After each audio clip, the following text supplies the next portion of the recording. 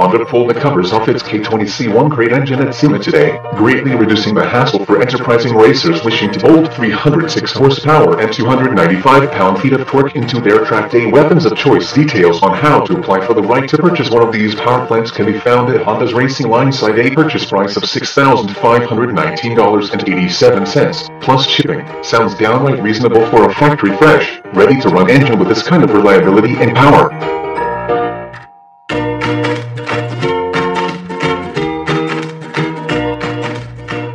Thank you.